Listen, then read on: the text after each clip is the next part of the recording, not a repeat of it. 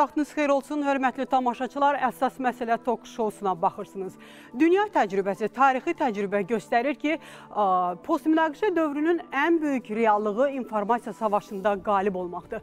Ona görə də diplomatik müstəvidə informasiya mübarizəsində ən gözəl nümunəsi 44 günlük müharibədə olduğu kimi bu gün də Prezident İlham Əliyev Ali Baş Komandan tərəfindən nümayiş etdirilir. Ötən gün dövlət başçımızın yerli telekanallara verdiyi müsahibədə əlbəttə ki, Ermənistana və onun havadarlarına verdiyi mesajlarla yanaşı ölkənin, əlbəttə və dünyanı maraqlandıran bir çox məsələlər yer alıb. Dövlət başçımız Azərbaycanın milli maraqlarına söykənən strateji hədəfləri açıqlayıb, iqtisadi, sosial proseslərə, eyni zamanda dünyada baş verən geosiyasi problemlərə münasibət bildirib, açıqlamalar verib. Olduqca maraqlı açıqlamalar var və hər bir məsələyə biz detallı şəkildə toxunmağa çalışacağıq. Ona görə də qonaqlarımızı təqdim edirəm. Yaxın bir saat ərzində diqqətiniz bizdə olsun. Bugünkü qonaqlarımız Milli Məclisin deputatları Ceyhun Məmmədov və Vüqar Bayramov. Xoş gəlmişsiniz, salamlayıram sizi, hörmətli qonaqlar.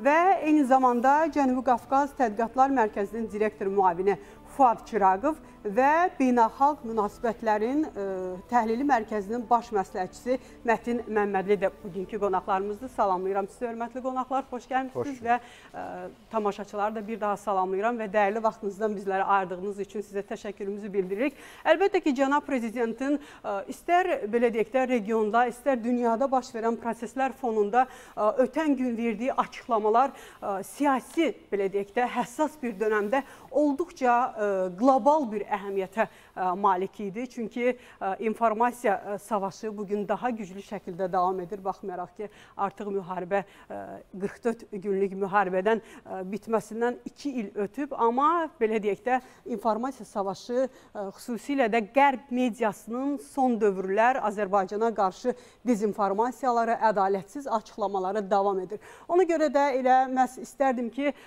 Azərbaycanın bu informasiyalara qarşı, qərb mediasına qarşı mübarizəsi ilə başlayaq müzakirələrimizə.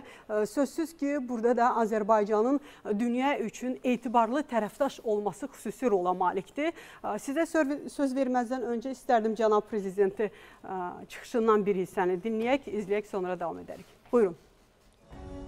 Azərbaycan dünyada çox etibarlı və ciddi tərəfdaş kimi tanınır və Azərbaycan o ölkələrdəndir ki, öz sözünü açıq deyir, müstəqil siyasət aparır. Və əlbəttə ki, bunun təməlində həm hərbi gücümüz dayanır, şanlı qələbəmiz dayanır. Çünki mən bunun canlı şahidiyəm ki, müharibədən sonra onsuz da Azərbaycan siyasətinə olan müsbət münasibət daha da artdı. Yəni bizə olan rəğbət daha da artdı. Çünki ə, dünyanın siyasi elitası yaxşı başa düşür ki, Biz nəyin bahasına bu qələbəni əldə etdik? Hansı risklərə getdik? Və ə, hansı qüvvələrlə mübarizə aparırdıq və bu gün də aparırıq. Yəni müharibə bitsə də mübarizə hələ davam edir. Və əminəm ki, biz qalib gələcəyik, çünki biz haqq yolundayıq və bizim həm hərbi, həm siyasi gücümüz, o cümlədən iqtisadi müstəqilliyimiz bizim gücümüzü əlbəttə ki, artırır. Bəli, e, Ceyhun müəllim, istərdim sizlə başlayaq müzakirələrə. Çünki e, belə deyək də, qərb mediasına qarşı, ümumiyyətlə informasiya savaşında e, Azərbaycanın ciddi tərəfdaş olması, etibarlı tərəfdaş olması e, hansı təsirlərini göstərə bilər? Ümumiyyətlə hansı rola e, malikdir? Bəli, bugün biz müşahidə edirik ki, müharibənin bitməsindən 2 ildən artıq vaxt keçməsinə baxmayaraq, bu gün Ermənistanın qərb mediasında Azərbaycana qarşı yalan təbliğatı davam edir. Və təəssüflə qeyd etmək lazımdır ki, bir sıra qərbin media qurumları da bu məsələdə Ermənistana çox fəal bir dəstəyi nümayiş etdirirlər. Xüsusilə də biz son aksiyalarla bağlı vəziyyətə baxanda bu gün ermənilər tez-tez özləri də paylaşırlar. Ayrı-ayrı qərb media orqanlarının Azərbaycan həqiqətlərini təhrif etdiyini biz görürük. O baxımdan informasiya müharibəsində uduzmamaq üçün Azərbaycan davamlı olaraq müxtəlif addımları atır. O baxımdan cənab prezidentin dünənki müsahibəsi orada həm regional, həm beynəlxalq məsələlər, ümumiyyətlə bölgədə cərəyan edən hadisələrlə bağlı bir çox məqamlara toxunması xüsusi önəm daşıyır. Çünki bu həm daxildəki müəyyən istiqamətdə aparılan müzakirələrə bir töhfədir. Azərbaycan xalqı daha dəqiq formada bir sıra məsələləri özü görür və ona birbaşa məlumat verilir. İkinci bir məsələ isə Ermənistana və digər tərəflərə xəbərdarlığın edilməsidir. Bəli, Ermənistan çalışır, amma Azərbaycan da çalışır. Cənab prezidentin qeyd etdiyi kimi bu gün Azərbaycan etibarlı bir tərəfdaş kimi qəbul edilir. Bu gün Azərbaycan Qərbin enerji təhlükəsizliyində çox ciddi rol oynayır və bu gün Azərbaycan ciddi bir dövlət kimi qəbul edilir. Biz ümumiyyətlə bu proseslərə baxanda biz həm danışıqlarda, həm müzakirələrdə hər zaman verdiyimiz sözü yerinə yetirmişik. Amma Ermənistan dəfələrlə olub ki, müxtəlif beynəlxalq platformalarda görüşdə bir məsələni deyib, görüşdən sonra isə fərqli bir mövqe nümayiş etdirib və biz artıq Ermənistanın o siyasətində buna harada söyləşmişik. Bir-birinə zidd e, bəyanatların verilməsi. O baxımdan, yəni burada Azərbaycana münasibət çox dəyişib. Cənab prezidentin qeyd etdiyi kimi, yəni biz artıq qalib xalqıq. Bizim eyni zamanda imkanlarımızı genişləndirən güclü orduya malik olmağımızdır. Xarici siyasətdə davamlı olaraq öz məqsədlərimizə doğru uğurla irəliləməyimizdir və eyni zamanda da bu gün bizim bütün bu təxribatlara, təbliğatlara baxmayaraq xaricdə də mövqeyimizi çox ciddi dəstəkləyən dövlətlər var və biz buna nail olmaq üçün çox böyük bir e, zəhmətlə demək buna doğru hərəkət eləmişik. Yəni bu açıqlamalarla, bu münasibətlərlə biz e, ötən il e, cənab prezidentin səfərlərinə də baxanda davamlı olaraq biz müxtəlif görüşlərin və səfərlərin e, keçirildiyini görürdük. Və burada əlbəttə Azərbaycan öz mövqeyini çatdırırdı bu bir sıra hallarda yalan məlumatlarla bağlı, yəni biz konkret mövqeyi ortaya qoyurduq. Və o baxımdan bu gün Azərbaycan mövqeyi güclüdür. Azərbaycan partnyorları Azərbaycana inanır. Yəni biz bunu o Şərqi Avropada və Avropa ölkələrində cənab prezidentin səfərlərində də gördük ki, onun bir lider kimi, onun bir idarəsi kimi, onun həyata keçirdiyi siyasətlə bağlı hətta Qərbdə çox böyük bir E, fərqli yanaşma var və dəstək var. O baxımdan biz e, müharibə bitsə də işimizi davam etdiririk və o baxımdan da informasiya müharibəsində Azərbaycanın bu atdığı addımlar cənab prezidentin rəhbərliyi ilə onu qələbəyə doğru aparır. Və Azərbaycanın ə, e, kifayət qədər etibarlı və ciddi tərəfdaş ə, e, olduğunu bir daha ə, e, ötən gün cənab prezidentin ə, açıqlamalarında verdiyi xüsusi mesaj var idi ki, biz ə, siyasi prosesləri iqtisadi proseslərlə ə, əlaqələndirmirik və ə, bundan sonra proseslər necə cərəyan etsə də Azərbaycan öz enerji layihələrini, iqtisadi layihələri ə, belə deyək də dayandırmayacaq, davam etdirəcək. Yəni e, siyasətlə iqtisadi prosesləri e, belə deyək də qarışdırmayacağıq.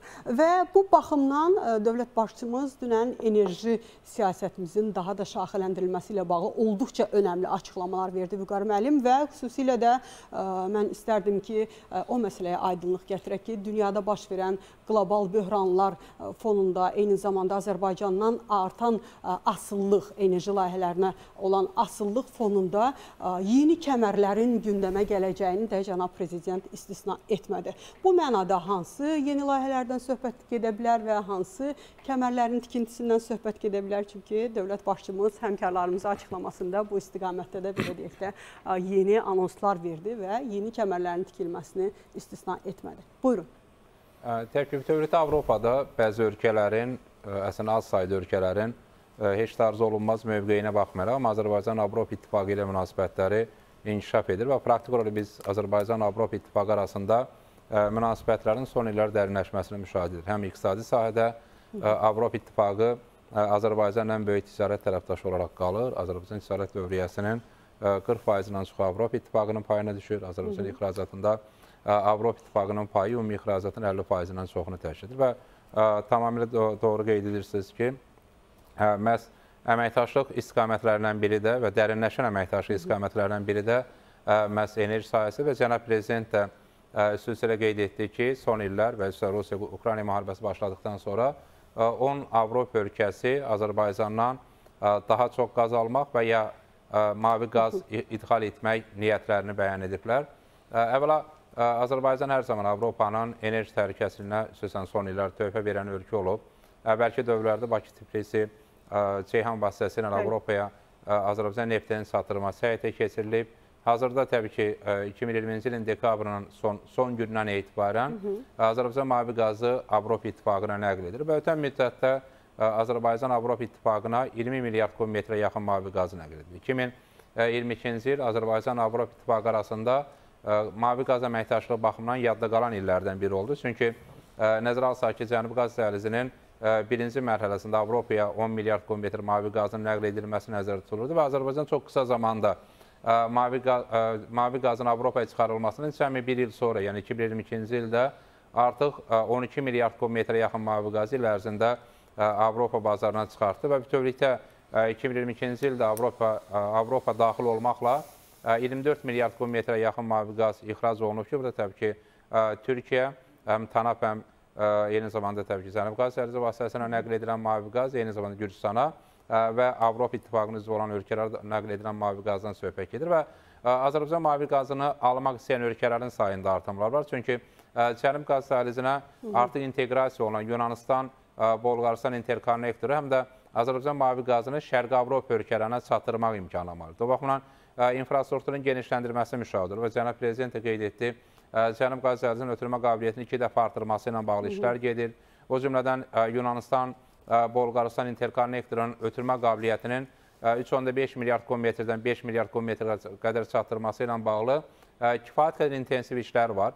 Və biz ötən müddətdən Bolqaristanın 2022-ci ildə Azərbaycan mavi qazını idxal etməsini müşahidə etdik. Azərbaycan, Bolqaristan Azərbaycandan il ərzində 1.5 və 2 milyard kubmetr intervalında mavi qaz idxal etmək niyyətindədir. Artıq bu ilin ilk gündən etibarən Rumıniya Azərbaycan mavi qazını idxal edir. Birinci növdə Rumıniya 4 milyon kubmetr mavi qazın ixrac edilməsi nəzərdə tutulur. Bütövlükdə Cənub qaz səhəlizinin ötürmə qabiliyyətinin artması artıq növbəti 3 il ərzində Azərbaycan Avropaya çıxaracağı mavi qazın həcminin 20 milyard kubmetrə qədər yüksəlməsinə gətirib çıxaracaq və nəticədə xüsusən Cənub qaz dəhlizinin ötürmə qabiliyyətinin 31,5 milyard kubmetrə qədər artırılması Avropaya daha çox mavi qazın nəql edilməsinə imkan yaradacaq. O baxımdan təbii ki, Azərbaycan Avropa üçün vacib tərəfdaşlardan, Azərbaycan Avropanın enerji ciddi tərəfdaşlardan. Təbii ki, Avropanın enerji təhlükəsizliyinə xüsusi töhfə verən yeni tər yeni tərəfdaş, mavi qaz nəqlində yeni tərəfdaşdır. Çünki Azərbaycanla Avropa İttifaqı arasında mavi qaz sahəsində əməkdaşlıq cəmi son 2 ilə əhatə edir, amma artan dinamika ilə, hər il əvvəlki ilə nisbətən daha çox mavi qazın Avropa bazarına çıxarılması təmin olunur və eyni zamanda o ölkələrə Azərbaycan mavi qazı çıxarılır ki, həmin ölkələrdə xüsusən mavi qazdan asılılığın aradan qaldırılması, mavi qazın diversifikasiyası olduqca vacibdir. Məsələn, bizim Bolqaristana ixrac etdiyimiz mavi qaz Bolqaristan ümumi istehlakının üçdə birini təmin edəcək. Hətta növbəti mərhələdə bu Bolqaristan istehlakının 50%-nə qədər çatdırıla bilər. Və ya Rumıniya, Moldova, Serbiya, onların Azərbaycan aldıqları mavi qaz onların ümumi istehlakının ən azı dörddə birini təmin edəcək. Nəticə etibarilə bu həm də həmin ayrı-ayrıqda baxdıqda Avropa İttifaqında və Avropada yerləşən ölkələrin mavi qaz təminatında təhlükəsizliyin formalaşıb və diversifikasiyası baxımından çox vacibdir. Vüqar müəllim, Avropaya qaz nəqlinin şaxələndirilməsinə belə deyək də yaxın perspektivdə Mərkəzi Asiya ölkələrinin qoşulması necə görünür? Mərkəzi, SWOP layihələr vasitəsilə. Artıq bildiyiniz kimi Türkmənistan bəli SWOP analizi, daha doğrusu anlaşması ilə layihə çərçivəsində mavi qazın nəql edilməsi həyata keçirildi. 2022-ci ildə işləf olaraq Türkmənistana mavi qazın alınması, təxminən 2 milyard kubmetrə yaxın mavi qazın İran vasitəsində, Türkmənistan, İran və Azərbaycan arasında SWOP anlaşma nəticəsində nəql edilməsi reallaşdı. Eyni zamanda bildiyiniz kimi Rusiya ilə Hı -hı. mavi qaz 1 milyard kubmetr mavi qazın idxalı ilə bağlı anlaşma var. Burada təbii ki, məqsəd daxili istehlak, amma daxili istehlakı artırmaqla həm də Avropaya daha çox mavi qazı çıxarmaq mümkündür. Eyni zamanda Təbii ki, Qazaxıstan, bildiyiniz kimi Qazaxıstan yanvar ayından etibarən yenidən Bakı Tbilisi Ceyhan vasitəsilə öz neftini ixrac etməyə başlayıb və nəticədə təbii ki, bu da Qazaxıstanın Azərbaycan Azərbaycan reallaşdırdığı layihələrdə yenidən iştirakı anlamına gəlir. Eyni zamanda alternativ enerji mənbələrdən istifadə olunması daha çox mavi qazın Avropaya çıxarılmasını təmin edir. Çünki Azərbaycanın illik istehlakı 13 milyard kubmetrdir. Alternativ enerji mənbələrdən enerjinin əldə edilməsi həm də ümumi istehlakın azalmasına və əldə edilən qənaətin mavi qaz formasında Avropaya çıxarılmasını təmin edə bilər.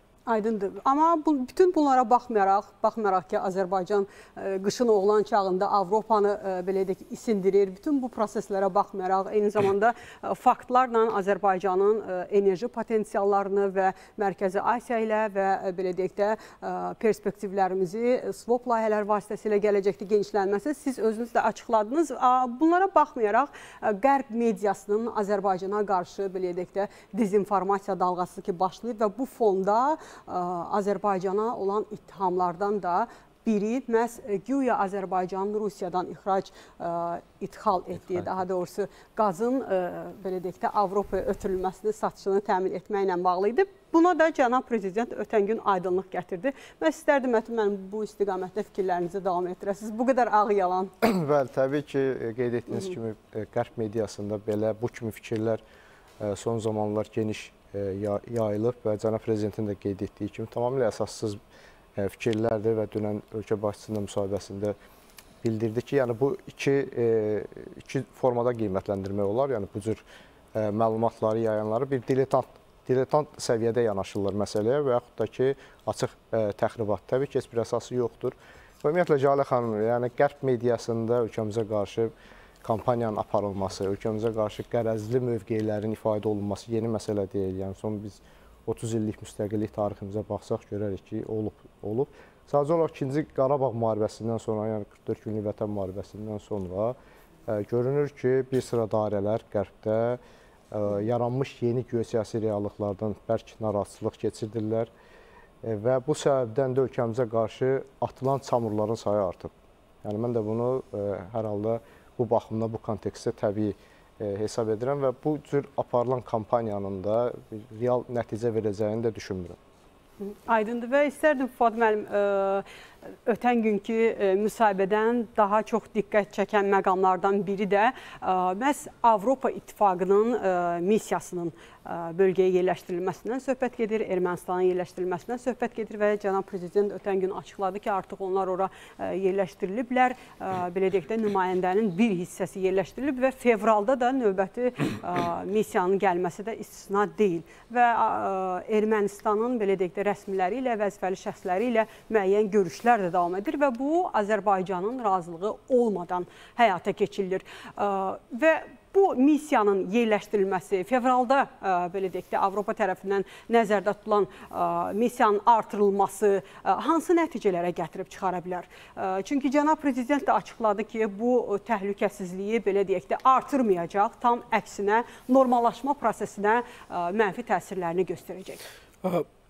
bu missiya ilə bu məsələ ilə bağlı cənab prezident ə, qeyd elədi ki, birincisi bu çox təəssüf, məyus edici bir ə, məqamdır. İkinci məqam o idi ki, bu elə də bir əhəmiyyətli bir hadisə deyil, amma bu məqam çox təəssüflər olsun ki, ümumilikdə Avropa İttifaqı ilə Vüqar müəllim qeyd elədi. Hı -hı son zamanlar dərinləşən münasibətlərə çox ciddi çox ciddi deyil, xələl gətirir. Xoşa gəlməz məqamdır. Həm də cənab prezident dəfələrlə Avropa İttifaqının vasitəçiliyini alqışladığını bildirmişdi. Bu məsələdə Azərbaycanın maraqlarına cavab verdiyini qeyd eləmişdi və bu Brüsselin təşəbbüslərinə hər zaman ə, dəstək vermişdi. Amma bundan sonra və biz bildiyimiz kimi bu ə, bu ə, təş Avropa İttifaqının vasitəçiliyinə zərbə və yaxud ona prosesə mane bizdən olmamışdı. Ermənistandan olmuşdu və ə, Fransadan olmuşdu. Ə, və bu məqam ondan əlavə də bu ə, missiyanın ə, göndərilməsi məsələsi bu ümumi sülh prosesinə ən azından ziyan vurur. Avropa İttifaqı indiyənə qədər bu iki məqam ortaya ortaya çıxana qədər münaqişədən sonra digər vasitəçilərdən daha çox belə deyək ki, pozitiv rol oynayırdı və biz inanırdıq ki, Avropa İttifaqı həqiqətən də regionda iki ölkə arasındakı münasibətlərin normallaşmasına xidmət etməyə çalışır və həqiqətən də bir balans saxlamağa çalışırdı. Görünür bu Balans pozulub. Artıq Pa- ötən gün cənab prezident qeyd etdiyi kimi daha çox Rusiya və Vaşinqtonun vasitəçiliyi Bəli, üzərində bəli, Azərbaycan dayanır. Təbii ki, bunu- Avropada bundan sonra qayıdarsa Yəni konstruktiv bir ə, mövqeyə. öz özlüyündə bu ə, nə, nəyisə dəyişən bir məqam deyil. Ə, amma kölgə saldı və belə deyək ki, zərbə vurdu və tə, təbii ki, yəqin ki, bu ə, məsələdə məsələ Fransa təsir imkanları çox mühüm rol oynadı o Brüssel üzərində. Doğrudur, indiyənə qədər ə, Brüssel ayrıca bir oyunçu kimi, ayrıca bir institut kimi Avropa İttifaqı ə, ə, pozitiv rol oynamağa çalışırdı. Hər halda ə, ümid e, düzdür, indi iki platforma qalıb. Amma ə, biz ə, hər halda Brüsseldən bir açıq ə, lama və yaxud açıq mövqe yəqin ki, Azərbaycan gözləyəcək. Və əgər əvvəlki formada yəni əvvəlki formada bu Avropa Avropa İttifaqı rol oynayacaqsa Azərbaycan olaraq Azərbaycana ədalətsiz mövqeyini nümayiş bu etdirərsə, bəli, əlbəttə ki, İttifaqının özünün rəsmiləri tərəfindən də, səfiri tərəfindən də bu dekabrın 7-sində görüş baş tutmayanda bildirmişdilər ki, Azərbaycanın prosesə sadiqliyini qiymətləndirirlər. Və bu mesajın bir ucu da məhz Ermənistana idi ki, bu prosesi Ermənistan yəni pozub. Yəni ə, ümid eləyək ki, ə, bu hələlik bilirsiniz bu ə, hesabatı birinci biz görməliyik ki, bu birinci dövr hesabatda hansı məqamları əks etdiriblər, nə qədər ə, ə, belə deyək ki, qərəzli və yaxud da ki, obyektiv ə, və ə, situasiyanı qiymətləndirəcəklər. Üzümüzə gələn il eyni zamanda ə, bu məsələlərin işığa, aydınlığa qovuşacağı il olacaq. Bəli, cənab prezident də ötən günkü müsahibəsində açıqladı ki, bu il həlledici il olmalıdır və Ermənistan konkret nəticələr çıxarmalıdır. Çünki 2024-2025-ə saxlamaq bunu mümkün olmayacaq. Çünki artıq Rusiyalı sülh məramlarının da vaxtı müddəti bitir. Mütləq şəkildə 2023-cü ildə normallaşma prosesinə aydınlıq gətirilməlidir. Amma təbii ki, buna mane olan qüvvələr də Ermənistandakı revanjist qüvvələridir ki, cənab prezidentin də ötən günkü müsahibəsində dəqiq və ə, belə deyək, açıq, ə, net şəkildə Ermənistana və onun havadarlarına, xüsusilə də adı ilə çağırsaq Fransaya mesajı var. Elə ə, cənab prezidentin çıxışından bir hissəni də izləyək, sonra davam edərik. Buyurun. Ermənistana istənilən silah verilərsə, o onlara köməklik etməyəcək. Və mən Ermənistan tərəfinə bir neçə dəfə bunu demişəm. Dedim ki, ə, buna əbəs yerə vəsait xərcləməyin. Çünki birincisi bu sizə kömək etməyəcək. İkincisi, ölkənizdə olan revanşist qüvvələrində hansısa bir illüziya yarada bilər. İllüziya yarada bilər ki, siz revanş edə bilərsiniz, edə bilməyəcəksiniz. Biz əgər görsək ki, bizim üçün hər hansı bir ciddi təhlükə varsa, bu təhlükəni dərhal dəf edəcəyik. Ə, Baxmayaraq ki, bu təhlükə harda yaranıb. Bizim ərazimizdə, yaxud da ki, hüdudlarımızın kənarında bu bizim legitim hüququmuzdur. Ona görə ə, belə cəhdlər var və biz görürük, bilirik ə, hansı ölkələr Ermənistana silah verməyə hazırlaşırlar. Əfsuslar olsun ki, onların arasında Hindistan da indi rol alıb. Biz bunu qeyri-dost addım kimi qiymətləndiririk. Çünki bu silahların, özü də hücum silahlarının bir hədəfi var, o da Azərbaycandır. Ona görə biz əlbəttə ki, lazımi tədbirləri görürük və imkan verə bilmərik ki, Ermənistan bizim üçün təhlükə yaratsın. Heç vaxt imkan verə bilmərik. Təbii ki, Azərbaycan bütün sahələrdə öz imkanlarını, öz gücünü, istər hərbi sahədə, istər siyasi sahədə ə, genişləndirir və geosiyasi ə, belə deyək də sahədə də Azərbaycanın öz imkanlarını genişləndirməsi üçün artıq ə, siz də az öncə qeyd etdiyiniz kimi vacib komponentləri var. Təbii ki, bura iqtisadi, hərbi kompleks, halbuki ötən gün cənab prezident bunu da xüsusilə qeyd etdi. Hərbi sənaye kompleksinin yaradılması, iqtisadi, siyasi sahədə belə deyək də Azərbaycanın bütün imkanları imkanları bütün təhdidlərə qarşı cavab verməyə hər zaman hazır olduğunu bildirir.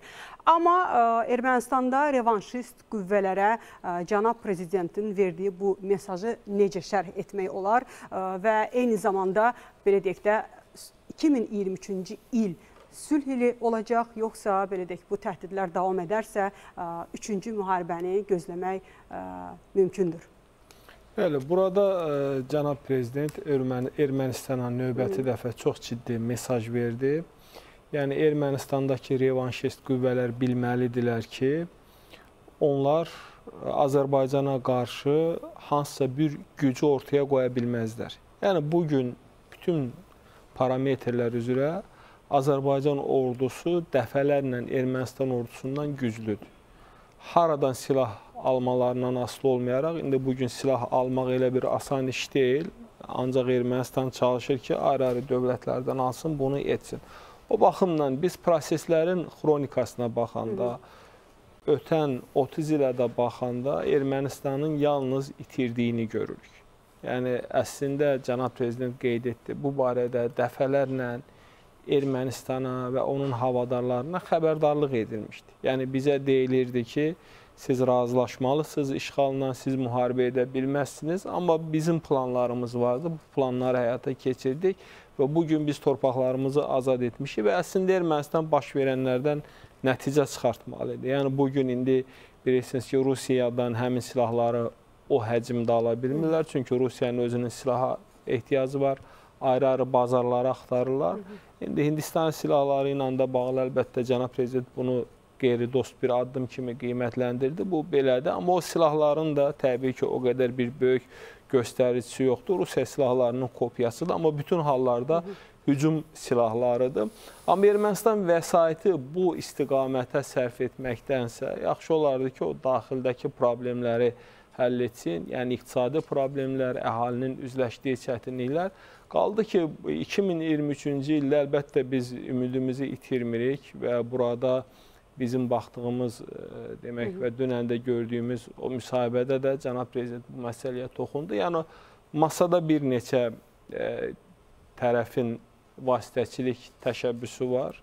Əslində biz Avropa İttifaqı Fransanı çıxmaq şərti ilə. Necə? Yəni biz onu qəbul eləmirik. Biz Fransanın Fransasız e, yaşayırıqsa, Fransada yəni, bizsiz Fransa, yaşamalıdır. Cənab e, prezidentin açıqlaması idi olduqca maraqlı. Fransa tərəfdir. Fransa vasitəçi ola bilməz.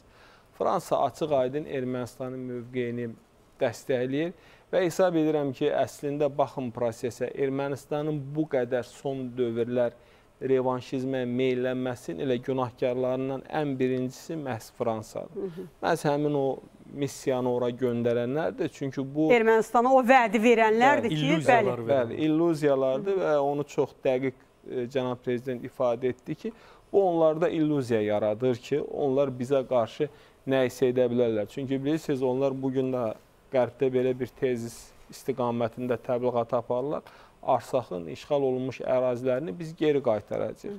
Yəni bizim ərazilərimizdən söhbət gedir. Bu mümkün deyil və bu gün bu istiqamətdə addımlar atılır və biz yəni konstruktiv e, və tərəf olmayan təşəbbüslərə açığıq və biz Ümid edirik ki, 2023-cü ildə də bu proseslər gedəcək. Amma onu da qeyd etmək lazımdır ki, əslində biz əvvəlki dövrə baxanda Avropa İttifaqının vasitəçiliyi ilə uğurlu görüşlər olurdu. Düzü bəzən Ermənistan qayıdandan sonra Paşinyan başqa e, bir mövqeyini də nümayiş etdirirdi. Amma müzakirələr gedirdi. Bunu da yenə Fransa Ermənistanla bir yerdə pozdu və 7 dekabrda olan olması planlaşdırılan görüş də artıq baş tutmadı. Çünki başqa cür də ola bilməzdi. Amma bütün hallarda e, burada mən onu da qeyd etmək istəyirəm. Əslində cənab prezident Ermənistana çox ciddi bir mesajı da verdi ki, biz bu gün masadayıq.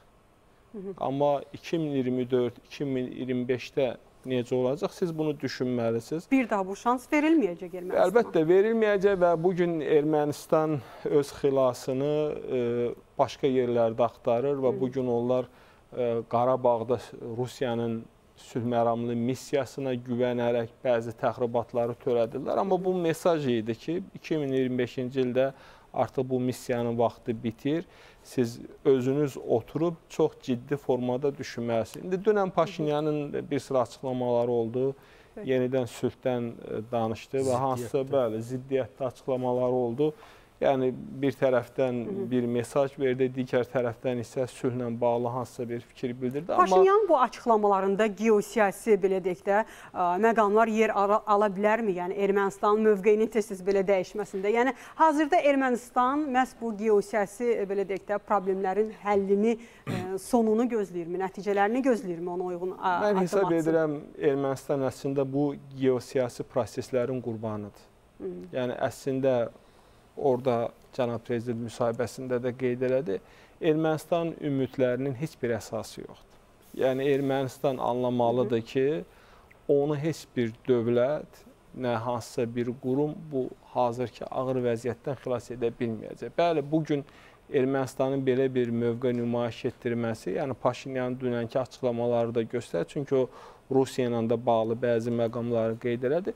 O müstəqil deyil, müəyyən hansısa dövlətlərin vədlərinə güvənərək və eyni zamanda vaxtı uzadaraq, prosesi uzadaraq nəyisə nail olmaq istəyir.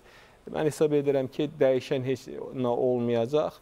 Azərbaycan yəni hüquqi baxımdan da əsasları var, ordusu da güclüdür. Biz bütün addımlarımızı atacağıq ki, öz məqsədimizə nail olaq. Burada vaxt itirən Ermənistandır. İndi Ukrayna, Rusiya nə baş verəcək? Yəni bu güya Ermənistan xeyrinə hansısa bir prosesin olmağından söhbət gedir və ya hansısa məsələlərdən. Yəni İran onun yanında idi, Rusiyanın dəstəyi vardı, Fransanın da var. Biz artıq bunların hamısını demək olar ki, neytrallaşdırmışıq. Yəni xüsusilə də e, Fransa ilə bağlı axırıncı BMT-dəki qətnamə, indi bəzi məsələlər artıq yola nəzarət. Bu onu deməyə əsas verir ki, Azərbaycan öz məqsədlərinə doğru inamla irəliləyir. Bəli, əlbəttə Azərbaycan 2022-ci ilin nəticələrinə baxanda mən istərdim elə iqtisadi, sosial nəticələrə biz diqqət yetirək, çünki ötən günkü müsahibədə bu da xüsusi yer alıb və Azərbaycanın belə deyək də daxili inkişafı da sosial-iqtisadi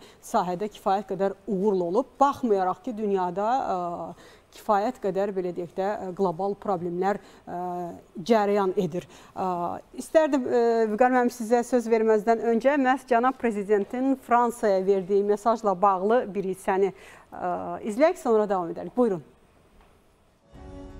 İndi keçmişə nəzər saldıqda görürük ki, bir daha yəni əmin oluruq.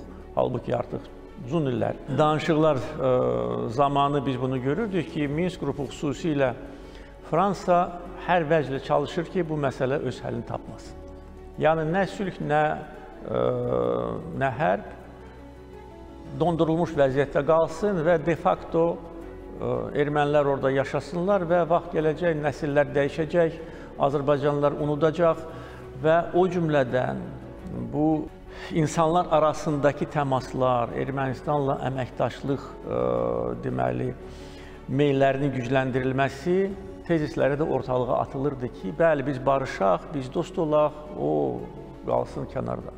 Yəni biz bununla barışmadıq və hesab edirəm ki, belə anti-Azərbaycan mövqeyinin əsas səbəbi budur ki, biz onların planlarını alt-üst etdik və ə, e, onlar da öz himayəsinə aldıqları Ermənistanı xilas edə bilmədilər. Bəli, əlbəttə ki, cənab prezidentin ötən günkü müsahibəsində qeyd etdiyi məqamlardan da biri də, biri də o idi ki, görün biz kimlərə qarşı mübarizə aparırıq. Azərbaycana qarşı istər informasiya sahəsində, istər belə deyək də, digər sahələrdə də ə, təhdidlər davam edir, amma bu təhdidlərə qarşı Azərbaycanın ə, güclənməsi də xüsusilə də belə deyək iqtisadi sahədə, hərbi sahədə, hərbi sənaye sahəsində ə, xüsusilə də ə, 2023-cü ildə də yeni hədəflər var və az öncə öncə Vüqar müəllim 2022-ci ilin sosial-iqtisadi yekunları ilə bağlı sizə sual ünvanlamışdım. Əlbəttə ki, dünyada belə deyək də bu problemlərə qarşı mübarizə aparmaq üçün ilk növbədə iqtisadiyyatımızı gücləndirməliyik, möhkəmləndirməliyik. Eyni zamanda sosial sahədə də kifayət qədər uğurlara imza atmışıq. Həm böyük qayıdış proqramı çərçivəsində, həm də belə deyək də ümumilikdə regionların inkişafı istiqamətində. Nədir bunun sirri? Bütün problemlərə, dünyada baş verən problemlərə baxmayaraq Azərbaycanın uğurlarının sirri. Buyurun. 2022-ci il həm dünya, həm də region üçün fərqli bir il oldu. Təbii ki, nəzərə alsaq ki, Rusiya-Ukrayna müharibəsi yalnız hərbi baxımdan və ya siyasi baxımdan deyil, eyni zamanda iqtisadi baxımdan qiymətləndirən bir hadisədir, davam edən bir hadisədir. Çünki dünya bazarında və dünya iqtisadiyyatında kifayət qədər ciddi dəyişikliklərə gətirib çıxardı və 2022-ci ildə həm qlobal iqtisadiyyatda, həm inkişaf etmiş ölkələrin və regionda əslində son 40 ilin ən yüksək inflyasiyası müşahidə olundu, qeydə alındı. Eyni zamanda bir sıra məhsulların idxalında, o cümlədən ixracatında və istehlakında bir sıra ölkələrdə çətinliklər müşahidə olundu. Yəni istehlak bazarındakı tarazlığın xeyli dərəcədə, xüsusən də inkişaf etməkdə olan ölkələrdə pozulması müşahidə olunur. Amma təbii ki, bütün bunlara rəğmən Azərbaycan 2022-ci ili iqtisadi artımla başa vura bildi. Bildiyiniz kimi 2022-ci ildə iqtisadi artım təxminən 4,8% olub. Yaxın günlərdə son rəsmi statistik rəqəm elan olunacaq. Amma qeyri-neft sektorundakı artım 9%-dən çox olub. Əslində 2022-ci ildə iqtisadi artımda driver məhz qeyri-neft sektoru olub. Bu da əslində 2022-ci ilin iqtisadi baxımdan çox pozitiv məqamlarından biridir. Çünki qeyri-neft sektorunun həm büdcə gəlirlərində, həm ümumi daxili məhsulda, eyni zamanda eləcə də qeyri-neft ixracatının artması müşahidə olunub ki, bu təbii ki, iqtisadi diversifikasiya baxımından çox vacib. Çünki iqtisadiyyatın şahlənməsi 2022-ci il daxil olmaqla əvvəlki illər və təbii ki, bu il üçün və növbəti illər üçün prioritet məsələlərdəndir və təbii iqtisadiyyatın güclənməsi və Azərbaycan ümumi daxili məhsulun Azərbaycan müstəqillik illərində ilk dəfə olaraq 135 milyard manata çatması və artıq biz 2023-cü ildə Azərbaycanın müstəqillik illərində manat ifadəsindən böyük büdcəsini icrasına başlamışıq. Söhbət təbii ki, 33 milyard manatdan artıq xərci olan bir büdcədən gedir, hansı ki, onun 15,2 milyard manatı, yəni 46 faizi yaxını birbaşa sosial istiqamətə yönəldilən vəsaitdir. Sosial sferada 2022-ci ildə biz cənab prezident də qeyd etdi, yəni bu gün əslində 2023-də reallaşan sərəncamı və ya gələcəkdə atılacaq addımları və imzalanacaq sərəncamları həm də əvvəlki illərdə həyata keçirilən sosial siyasətin və sosial müdafiə tədbirlərinin davamı kimi qiymətləndirmək lazımdır. Çünki biz 2022-ci ildə də, hətta pandemiya dövründə də sosial istiqamətdən minimum əmək haqqının, minimum pensiyanın artmasını müşahidə etdik. Minimum əmək haqqıda ötən il 20% artım qeyd alındı. Artıq 2023-cü ilin ilk həftəsində cənab prezidentin imzaladığı sərəncamla minimum əmək haqqı 15% artdı, minimum pensiya 17%-ə yaxın 16,8% artdı və nəticədə artım tendensiyası davam edir. Bu da eyni zamanda xüsusən nəzərə alsaq ki, yanvar ayında pensiyaların, əmək pensiyaların, bütün əmək pensiyaların indeksasiyası həyata keçiriləcək və 2023-cü il həm də sosial təminat baxımından çox fərqlilərdən biri olacaq. Çünki 2023-cü ildə ilk dəfə olaraq bütün əmək pensiyası alan vətəndaşlarımızın pensiyaları indeksasiya olunacaq. Söhbət təxminən 15% indeksasiyadan gedir, hansı ki, yanvarın 1-dən etibarən hesablanacaq və yanvar üçün ayı üçün artımlar fevral ayında ödəniləcək. Fevral ayında birlikdə ödəniləcək və artıq biz yanvara pensiyalarda artımlarla daxil oluruq. Digər tərəfdən eyni zamanda 2023-cü ildə ilk dəfə olaraq ehtiyac meyarı ilə yaşayış minimumunun bərabərləşməsi və 246 manata çatması müşahidə olundu. Bu, xüsusən ünvanlı sosial yardım proqramında daha çox vəsaitin yardımın edilməsi baxımından vacib. Çünki cənab prezident qeyd etdi, ünvanlı sosial yardım proqramından 60 min ailə faydalanır və onların hazırda aldıqları orta məbləğ 460 manatdır və həmin məbləğ il ərzində 550 manata qədər yüksələcək və nəticədə biz müstəqil illərində ilk dəfə olaraq orta aylıq əmək haqqının 900 manatdan daha çox olmasını 2023-cü ildə müşahidə edə biləcəyik. Böyük qayıdış vacibdir. Əslində məhz cənab prezident dünənki müsahibəsində də qeyd elədi və xüsusi qeyd etdiyi məqamlardan biri məhz bizim Qarabağ və Şərqi Zəngəzurda apardığımız quruculuq işləri fonunda həm də sosial sferada ə, ayırmaların artmasıdır. Yəni nəzərə alsaq ki, biz əslində ə, çox qısa olaraq büdcənin xərc strukturuna diqqət yetirsək, büdcə xərclərinin 46%-i sosial sferəyə gedir. 3 milyard manat 2023-cü ildə Qarabağ və Şərqi Zəngəzurun qurulması üçün istifadə olunacaq və bizim hərbi gücümüzü hərbi gücümüzü artırmaqla bağlı, yəni təhlükəsizlik xərclərimizi nəzərə alsaq, təxminən büdcə gəlirlərinin 75%-i yaxını Qarabağın qurulması, sosial sfera və hərbi gücün artırılması. Yəni sevinirəm ki, bu həm də həm iqtisadi sahədə, həm də siyasi sahədə hansı məsələlərin prioritet olduğunu göstərir və bir daha onu göstərir ki, baxmayaraq bizim hərbi gücün artırmağına bağlı vəsait ehtiyacı var. Qarabağ işğal müddətini tamamilə dağıdırıb yenidən qurulmalıdır, amma bununla belə sosial istiqamət yenə də ən çox vəsait ayrılan istiqamətdir. Və eyni zamanda Vüqar müəllim, hərbi gücün artırılması, hərbi sənayenin belə deyək genişləndirilməsi e, xüsusi önəm daşıyır və e, belə deyək də dünyada baş verən proseslər fonunda e, silahla bağlı yaranan boşluğu bu gün Azərbaycan e, doldurur. Belə deyək də Azərbaycanın silah ixracı da artır. Bununla bağlı yəni e, gəlirlərimiz necə? Təbii ümumiyyətlə ə, 2020 Artım var mı, yəni 2022-ci 2022-ci ildə həm də ixracatımız strukturunda dəyişiklik oldu. Bildiyiniz kimi ə, 2022-ci ildə ilk dəfə olaraq Azərbaycanın qeyri-neft ixracatı 3 milyard dollara yaxın oldu ə, və qeyri-neft ixracatında ə, təxminən 17% artım qeydə alındı. Burada həm ə, bu yalnız təbii ki, ənənəvi bizim aqrar məhsulları deyil, eyni zamanda innovativ məhsullar, o cümlədən təbii ki, sizin qeyd etdiyiniz sənayədə ə, hərbi sənayədə istehsal edilən məhsullar, o cümlədən avtomobil sənayesində istehsal edilən məhsullar və ə, digər məhsul. Yəni ə, qeyri-neft ixracatının strukturunda da bir dəyişiklik var ki, ə, biz yalnız əvvəlki dövrləri biz diqqət yetirik, daha çox aqrar məhsulları xam mal formasında ixrac edirdik. İndi aqrar məhsullar ümumi qeyri-neft ixracatının cəmi 40%-ni təşkil edir. 60% artıq qeyri-aqrar məhsullardır, daha innovativ məhsullardır, emal edici sənayenin istehsal etdiyi məhsullardır və bu da təbii ki, həm də keyfiyyət baxımından qeyri-neft ixracatı həm istehsal həm də ixrac imkanlarının genişləndiyini göstərir. Bəli və ə, əsas məqamlardan biri də ə, Mətin müəllim dünyanın ə, nizamının, dünya nizamının pozulması fonunda belə deyək də ə, boşluqları dolduran ə, yeni təşkilatların ə, daha da qüdrətlənməsidir və bu mənada cənab prezident xüsusilə də qoşulmama hərəkatını eyni zamanda İslam Əməkdaşlıq Təşkilatına nümunə olaraq göstərdi və təbii ki, BMT də öz mesajlarını çatdırmış oldu. BMT-də islahatlar aparılmalıdır. Ə, bu istiqamətdə belə deyək də Azərbaycanın atdığı addımları 2022-ci ilin yekunları ilə ə, belə deyək müqayisə etsək 2023-cü ilin hədəfləri nədən ibarətdir? Bəli, təbii ki, cənab prezident Türk Dövlətləri Təşkilatını da yəqin ki, əlavə etmək olar. İslam Əməkdaşlıq Təşkilatı, Qoşulmama Hərəkatına Azərbaycan sədrlik etdiyi ə, dönəmdə kifayət qədər belə deyək də uğurlu real addımlar atılıb.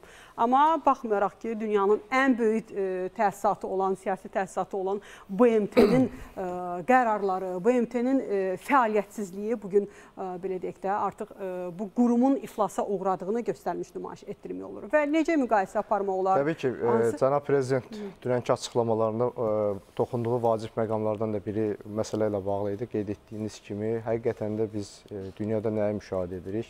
Yeni dünya nizamı quruculuğu prosesi baş verir. Xüsusilə də həmin e, təəssüf ki, nizam quruculuğu prosesi bir çox regionlarda, o cümlədən də postsovet məkanında həm də e, geniş münaqişələrə, müharibələrə e, səbəb olur. Və belə bir prosesdə e, təbii ki, hər bir dövlət çalışır ki, hər halda rasional düşünən dövlətlər çalışır ki, yaranan yeni vəziyyətə uyğun öz xarici siyasətini e, həyata keçirsin. Azərbaycan da o dövlətlərdən biridir və bizim xarici siyasətimiz ümumiyyətlə yəni 93-cü ildən biz götürsək çox vektorlu e, xarici siyasətdir.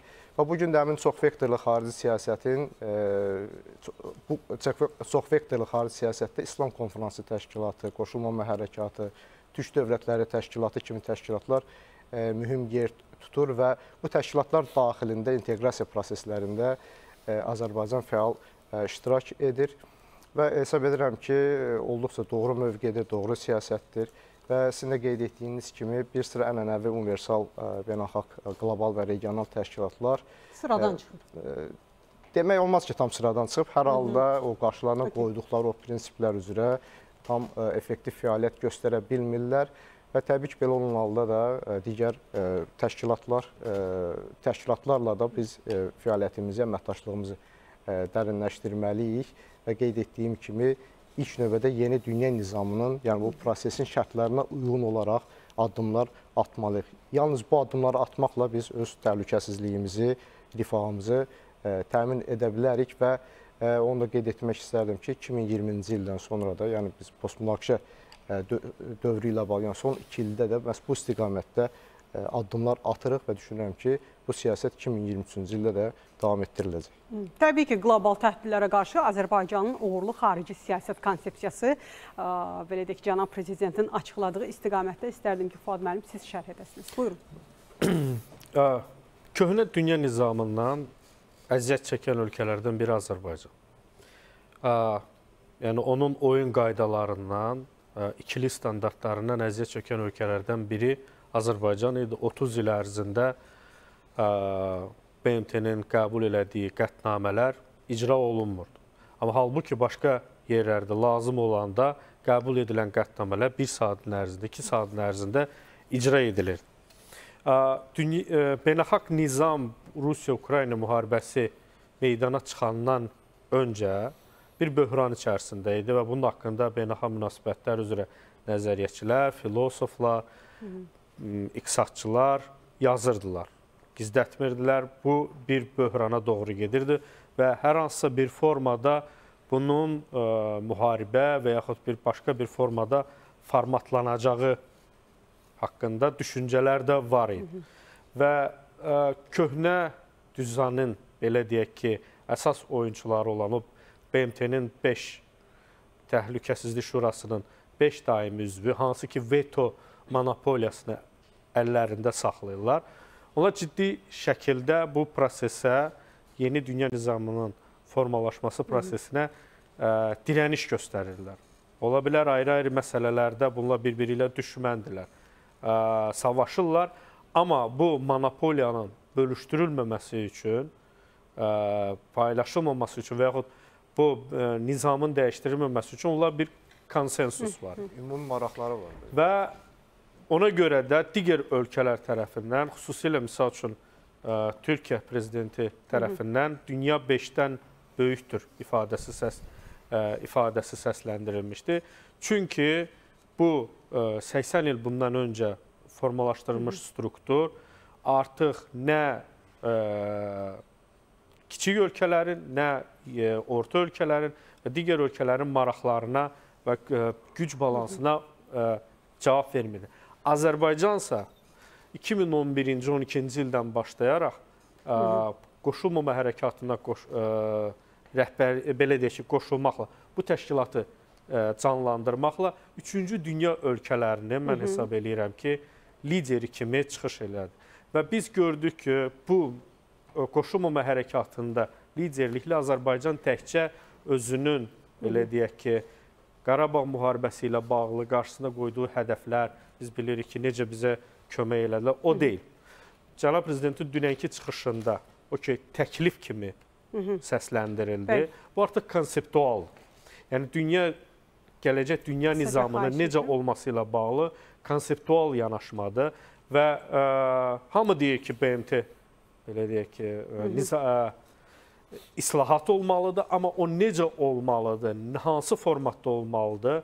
Konkret təkliflərlə çox az Təbii ə, dövlət ki, bunu da çıxış edir. zaman göstərər, amma Azərbaycanın elə ötən ilin yekunlarının ən böyük uğurlarından biri də xarici siyasət konsepsiyasında atdığı ən böyük uğurlarından biri də məhz BMT-də Ermənistan tərəfindən qaldırılmaq istədikləri sənədin, belə deyək, layihənin qarşısını almasıdır. Eyni zamanda qoşulmama hərəkatının bütün üzvlərinin Azərbaycana verdiyi dəstəkdir ki, Azərbaycana qarşı qərəzli, belə deyək də, uh, informasiyaların qarşısını aldı. Əlbəttə ki, cənab prezidentin ötən gün həmkarlarımıza verdiyi açıqlamalar olduqca geniş idi, çünki müsahibə 2 saatdan da artıq davam etdi. Biz bizə ayrılan vaxtda kifayət qədər belə deyək də detallara toxunduq, amma yarımçıq qalan məsələlərə bu gün əsas məsələnin axşam efirində 21:15-də efirə gedəcək. Belə deyək də həmkarım Elnar Məmmədlinin təqdimatında izləyə bilərsiniz və əlbəttə ki, müsahibənin iştirakçısı Tofiq Abbasov qonaq qismində olacaq.